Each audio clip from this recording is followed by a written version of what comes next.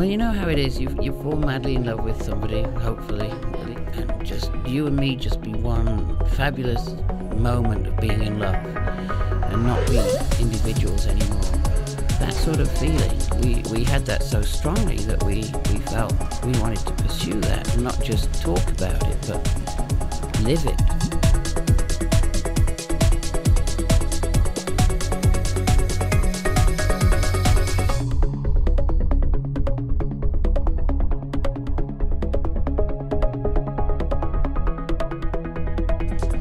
Mama, make some noise. Give it up for George Screech Sandow.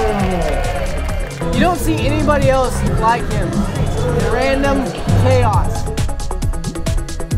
He's built to fit a horse, you know. God had him in mind when he made a cowboy, you know. All your horses are a mirror to your soul. And sometimes you might not like what you see in the mirror. Sometimes you will.